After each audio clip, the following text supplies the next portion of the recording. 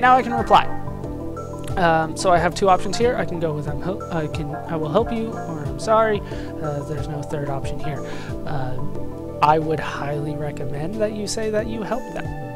That's that's just me. Like I said, you will be rewarded. You will be compensated, which means money. And I could always use money. So I'm gonna help. And we have sent the reply, which gives us our seventh email, uh, where Shion says that she will help. And we are done with the email system yet again. So now we can head the way that we were going before through the double doors. And the double double doors, the quadruple doors. Let's head through. And now we can head right on through here. I knew I was I was forgetting something. These emails, they can be kind of tricky if you want to get them all. But hopefully I will be able to get all of them and let you know when I make what, what I do to make that happen. That one you have to go back into the reality room, obviously. You're looking cute as usual. Why is everybody hit on me? Hello, Mr. Holgar. You're kind of creepy. Hey now, quit with the formalities. Call me Mr. Driller. You're not helping any, Mr. Holgar. D driller? Did you say now? Even Shion's getting a little uncomfortable now. I'm really skilled at using the drill crane. Oh, okay. So much so, I wish the drill council would acknowledge it. Of course, Susumu Hori and I are equals when it comes to drilling. Of course, Susumu Hori is the best, I think. Don't ever confuse me for a run-of-the-mill drill worker. I won't, Mr. Driller. Yeah, yeah, she doesn't. I don't want to call him Mr. Driller. What, Mr. Holgar? Ah, crap, Mr. Driller. What is it, Shion? I have to go through there. That doesn't matter at all right now. A clumsy worker caused an accident, and they can't work because the wreckage is in the way. That's where my drill crane and I come in. But even with an awesome driller like me, this is one heck of a job for just one guy. It's tough, real tough for just one guy. That's where you, my cute little Shion, come into the picture. This is creepier and creepier as we go along. You've answered my drill call! oh god, did he say drill call? How am I not supposed to take that sexually? Am I right? I'm right, aren't I? You'll do it, won't you? You'll help my noble cause, won't you? Uh, yeah, I do have a bad feeling about this, but I do know where this is going, so I do want to give it a try. I'll give it a try, but I may not be able to fully appreciate drilling like you do. Yeah, you'll take over my drill then. Okay, first I'll teach you how to operate the drill crane. Listen closely, operating a drill is not about reflexes or clever techniques. It's all about heart and the soul within. Passion for your drill will allow you to operate the drill as you wish. He, yes, this guy has, has lost it. Now I'll show you how to operate the drill. Listen carefully and get this all down, okay? First I'll explain vertical movement. If you press the square button, just break that fourth wall, why don't you? The drill will start moving vertically. If you do, if you let go, the drill will stop right at that spot. If you keep pressing the button, the, dr the drill will stop once it's reached the end of the rail. For moving the drill, you can move the camera freely using the left analog stick. You can also switch between cameras using the R2 button. You'll need to switch cameras to determine the drill's precise location, so be sure to make good use of them. Moving the drill is a one-shot deal. Operate the buttons carefully. When you're done moving vertically, you'll then move the crane horizontally, switch cameras using the R2 button, and use the square button to move the drill, just like you did when moving the crane vertically. Of course, this is a one-shot deal that you can't do over. When you're done moving vertically and horizontally, the drill will do the work on its own. The drill will come down and destroy anything under it. Obviously, nothing will happen if nothing's there. If you miss, you can always do it over again. And if you want to quit, the crane will stop if you press the X button. That's everything you need to know about the drill. Well, what do you think? Simple, right?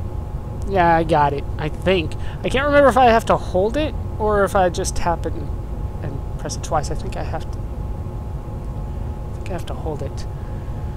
I don't want to listen to it again, no. Okay, so here's the camera. Um, we want to move it um, God, yeah, vertically. There we go. It looks like I have to hold it the first time and then tap it the second time. Okay, so I got one down. Oh, no, I press it twice? Okay. Fair enough. That is lined up, right? Yeah. I'm, I'm heading for the big stuff first, obviously. There we go. There's number two. Let's do it from here. Uh, I might have missed it. Well, I still get it. Yeah, I still got it. Kind of. It was off center, but I got it. Okay, now head for this one. And blow that shit up. That's right on the money. Yeah, blow up that TV. Now, all the way to the end. What's the other one?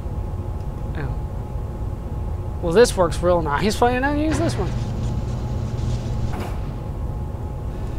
There we go. Perfect. Good enough.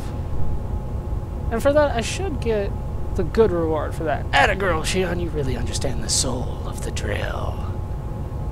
Sure. All on target. At this rate, you could take over my job anytime. And we get a drill passport, so we actually could take over his job whenever we want. Thanks. Just a little thank you for showing me what a true driller is all about. Take this item with you too, and we get a medkit S for not missing, which is, uh, yeah.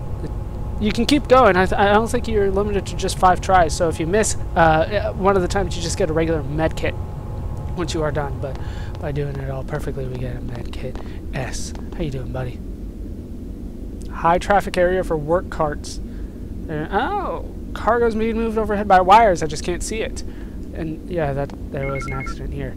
And we got another email. This one is required. I don't have a choice. I have to read it. And we, oh, starting the database service. I have already gone over the database a little bit. I forgot that you actually needed an email in order to actually get that started. Um, apparently I specified Gnosis and keyword as categories for your save data. Um, I don't remember doing that, but that is nice anyway. I, I, think that's done. Yeah, that's done automatically. What am I talking about? Of course it is. Uh, plugins are devices that may be attached to the connection gear to add new functions to it. The database plugin will automatically be saved when this email is sent. So in other words, I don't need to do anything. Later on, I might actually need to do something. So now we can go through the UMN database, and now we can find keywords and Gnosis there. Very nice. So let's go back. I'm sure the bunny wants to talk about the database. It does. The fact that you received email from the Megabyte store must mean you'll be able to use the UMN database in the near future, as in now. Very perceptive, bunny. By the way, why did you select keyword and Gnosis as your databases? Yeah, this is not something that you can control, but it is very useful, as you'll see. You have a reason, don't you? Of course. The reason why I thought of using keyword is because I can file all the keywords that come up in conversation in a database. That way I can always go back and check the detailed description later. I'm pretty familiar with most technical terms, but sometimes keywords that I don't know the definitions for appear. Oh, I see. I selected Gnosis just in case. There is a possibility that I will have to fight them in the future, right? Yeah, just a possibility. Yeah, no. This is this isn't an RPG where you have to fight everything that's ever mentioned ever, just like every other RPG. I agree with you. You probably won't be able to get by evading battles with Gnosis. I can try, though. I can try. On top of that, you may be placed in a situation where you have to fight the same type of Gnosis more than once. Exactly. That's why I thought the best thing to do was gather data on them. That is quite important. So we have read this email. Is this going to close out of... Yeah, that closed out of the menu entirely. So I am going to take this opportunity to look at the database. I think I have decided that I'm going to at least look at everything in the database, and I'll give you the opportunity to read it. If I think it's important, then I will read it. Here we go. Database. Uh, do we have anything in Gnosis? Uh, we have the drones that we bought. Uh, drone G1 and stuff. Drone G2. Drone G3. I don't think there's really that much information on it. Um, yeah, I can turn the menu off. Uh, but we don't have any analysis info, which is really what you want. The reason that we don't have those is because these were theoretical drones that we had fought. Uh, let's take a look at the keywords, though. We do have Are they going to label it? I hope they do. There we go. Anti-Gnosis weapon system. So those uh, giant mech robots are specifically designed to take out the Gnosis. Uh, not, yeah, not all of the eggs come in humanoid forms. Uh, but that, that, that's what it always looks like to me. Uh, they weigh the same as a large car, I guess you could say. Ah, so here, here's something that I find interesting. The primary power source called the transmit generator does not contain any fuel or energy conversion device. All energy is transmitted directly to these generators from the mothership or base station. Thus, the, the term generator is not appropriate for these systems. Similarly, the propellants used by the eggs for locomotion are also continuously provided by the mothership or base, so eggs can in effect run indefinitely as long as they remain within the area of influence. In other words, they don't have any fuel or anything. All the energy that they consume is being transmitted to them from a centralized station. Very, very nice. Allen! What is up? He's 24 years old. He was born in TC 4743, whatever TC means. I haven't really gone over that. He works in the first R&D division. Um, should you be interested in his backstory, he's two years older than Shion. and is her junior by one year in the corporate hierarchy of Vector. He comes from a wealthy family, but he doesn't talk to anybody about it. He loves fishing. I doubt that comes into play anytime soon. Android artificial humanoid life form. Uh, life form, not firm. Um, yeah, the first recognized term. That, see, this is this is nice. They actually give you real information, and then they kind of go off on a tangent about the sci-fi stuff. But look, first time that they they used the term android was in a novel by Villiers de l'Isle Adam uh, called Tomorrow's Eve to describe an artificial woman and that was a reference. One of the lines in Xenosaga is hard to believe they're making an android in this day and age.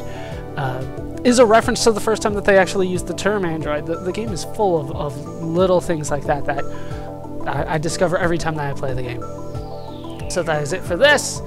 If you wanted to read the rest, I apologize that I probably went a little bit fast. Uh, cage partition, I don't think this is important. Um, yeah, that, that's. I'm sure they'll add more information to that later. Uh, we can learn a little bit about the captain. He's 40. He's you know, he's the captain of this ship, the Woglinde. Um, yeah, he's he's a pretty nice guy. Uh, Commander Andrew Cherenkov, second in command of the battlecruiser Woglinde. There's more to this man than meets the eye. Uh, we saw a little bit of Cherenkov. He was the one in the bridge that that was trying that was very serious, but not the captain. Commercial model. There's a lot of stuff on the commercial model. As you can see, this database can get quite uh, full quite quickly, but as you saw, it's still pretty empty. Uh, luckily, they are filling it as we go along. Um, yeah, commercial models. Not KOS-MOS.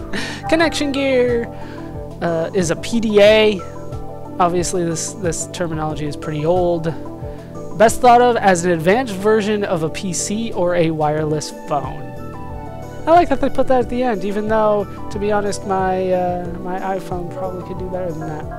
Yeah, I have an iPhone. You know what I'm say? So does everybody else in the family. So I had to get one too. I'm sure there are other brands that are better. but that's the one I got.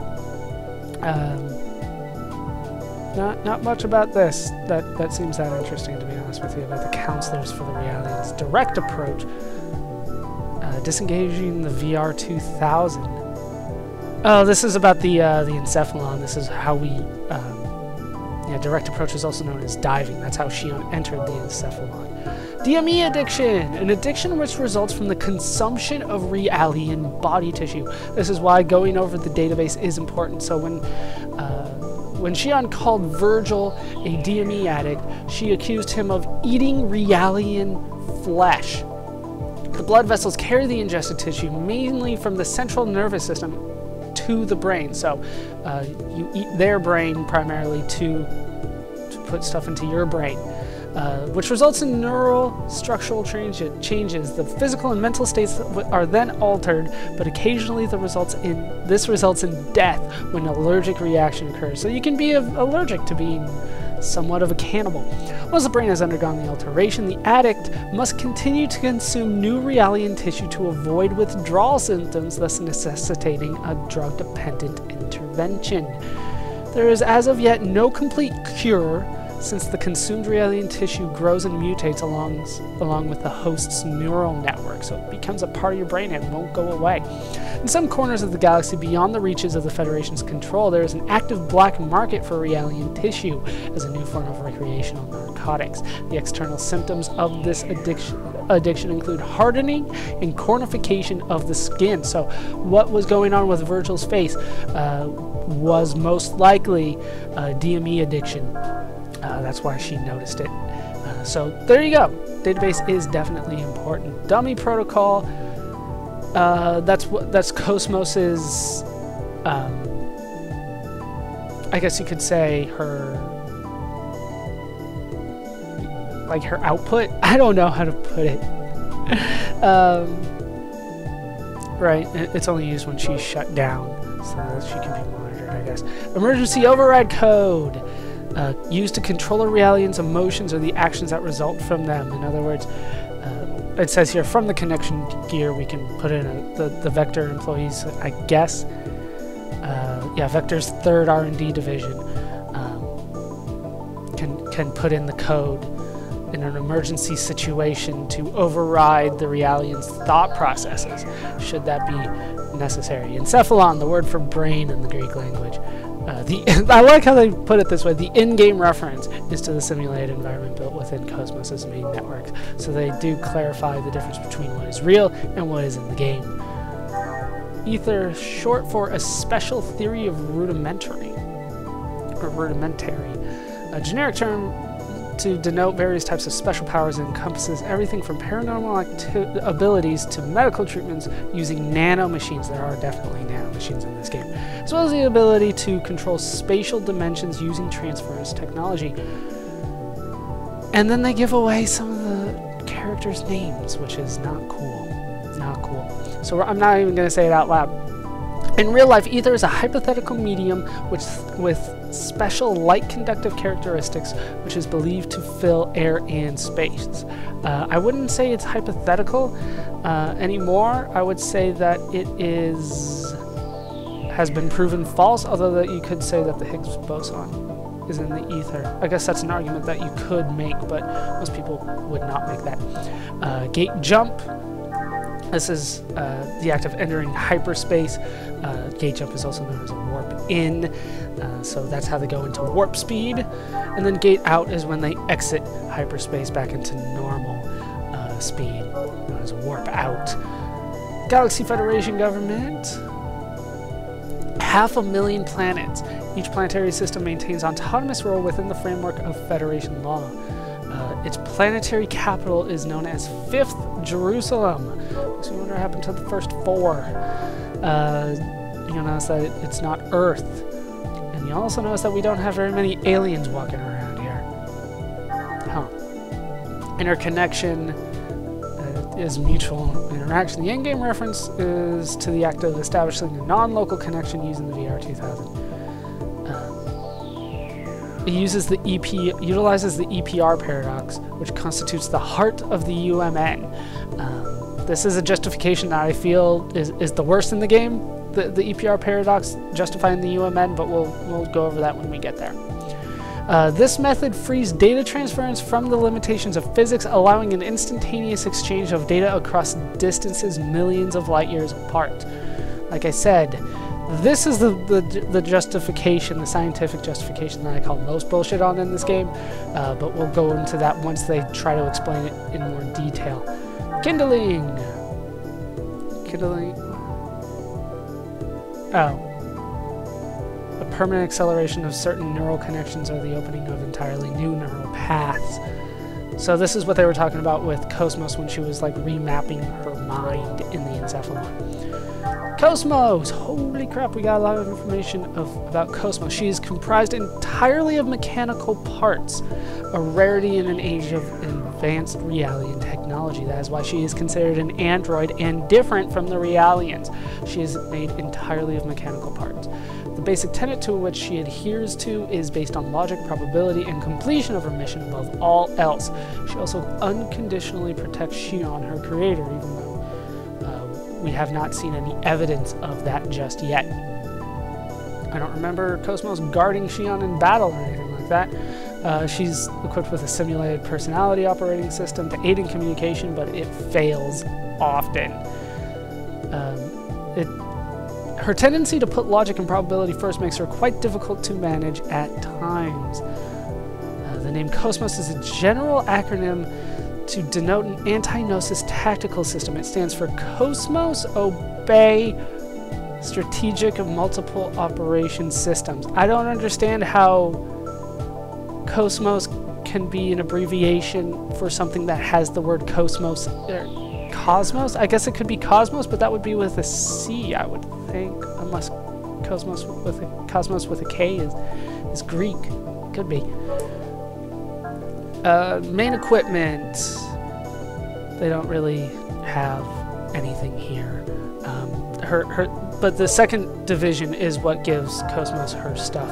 Like Turkana from the original, uh, the opening full motion video. It is a real lake at the northern tip of Kenya. It's also known as Lake Rudolph, and they have found many human fossils there. So it is, it is deemed that Mm, I don't know. I, I, guess they're implying that whatever was found there was was older than us uh, as humans. I guess that's the implication of Lake Turkana uh, and why they have chosen it.